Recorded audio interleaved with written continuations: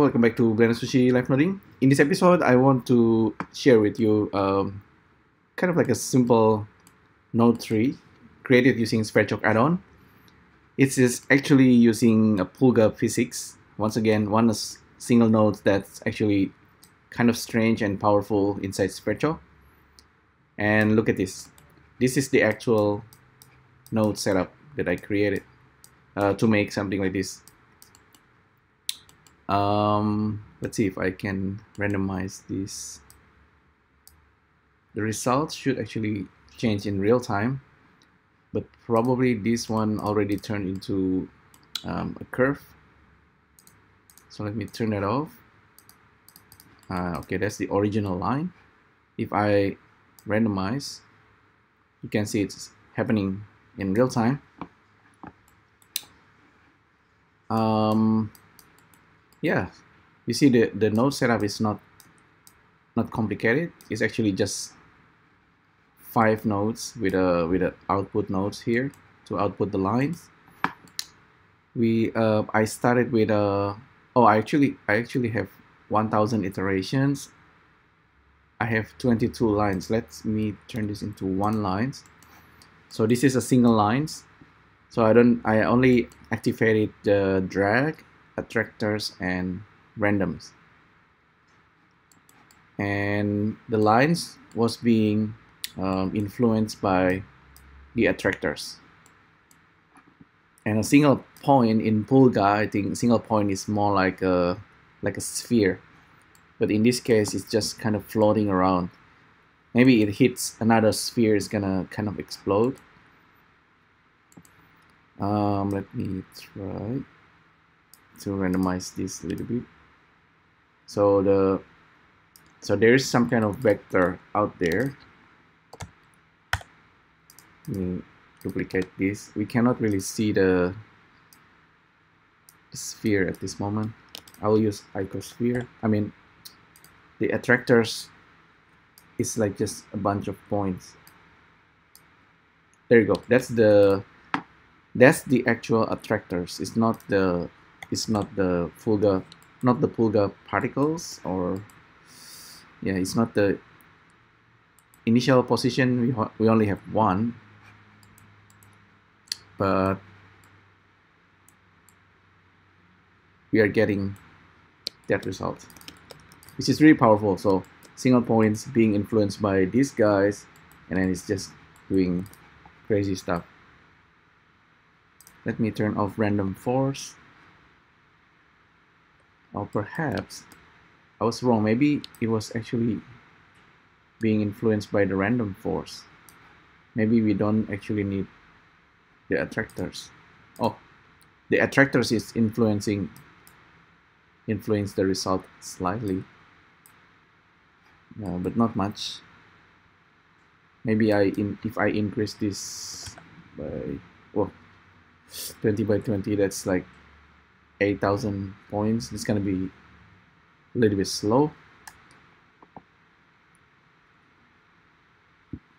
Okay so that's 8000 particles if I hide this. So that's the result. This is actually more more correct. It was influenced by a lot of points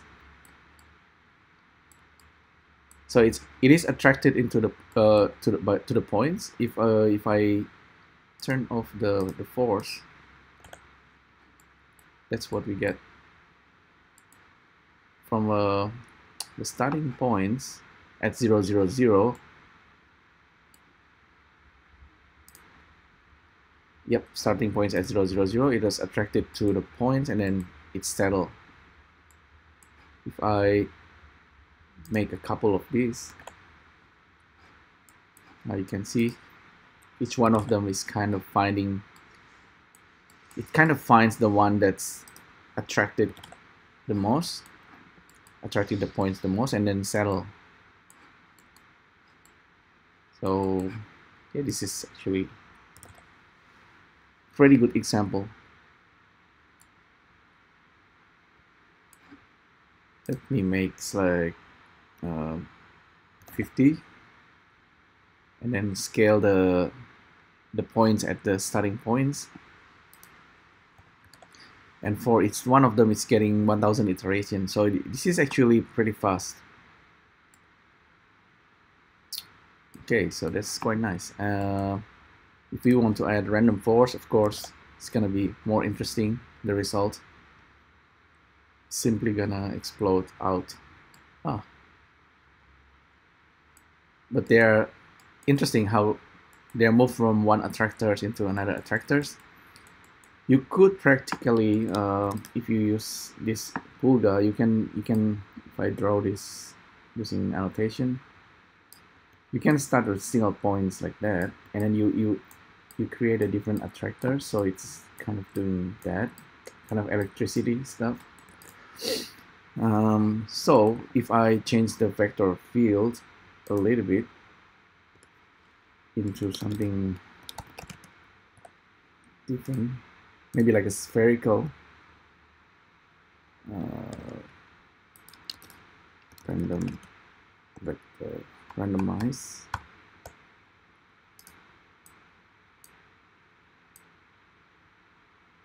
if I do it like that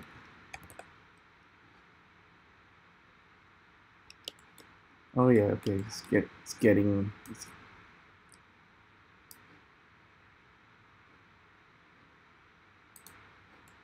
it, it becomes like that's too random. Maybe I'll increase the attraction force to 2 so the count scale increase the size. So now let's turn off random force. Ah yeah all right so where's the starting points? It's interesting the starting points okay from there. And then it's kind of attracted into the balls into the these random places. Maybe attraction force can be higher. Oh it's clamp all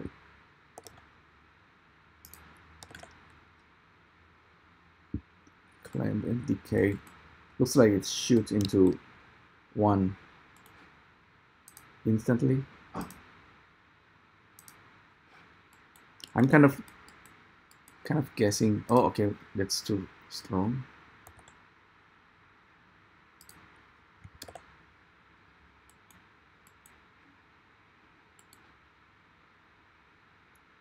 The decay is probably too too big clamping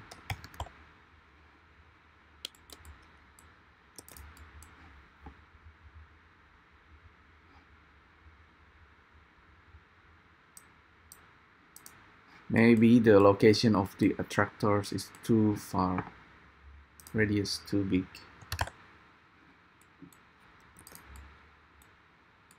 It's shooting out that way. Maybe because I have initial velocity. Now I don't have anything. Mm, attraction force 100. It's funny how this doesn't seem to give anything maximum velocity 10 20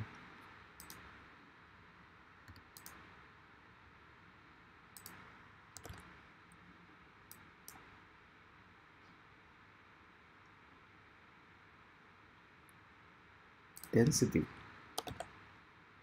it could be the density.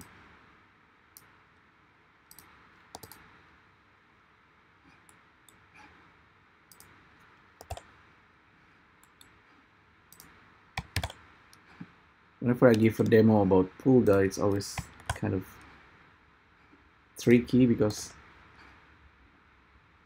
you don't always get a result. Uh, maximum velocity 100 drag force nothing attractor force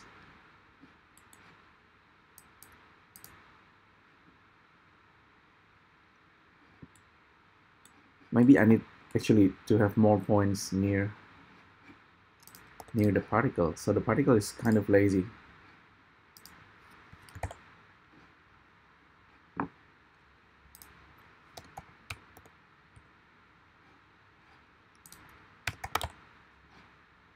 Still nothing. Attractor force.